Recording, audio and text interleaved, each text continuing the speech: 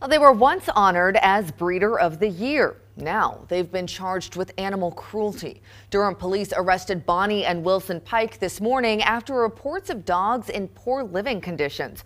Police say 18 dogs were found in a basement off Packers Falls Road. All showed signs of neglect. Uh, just last year, the American Kennel Club named them Breeder of the Year in the sporting group for Silver Hall Cocker Spaniels.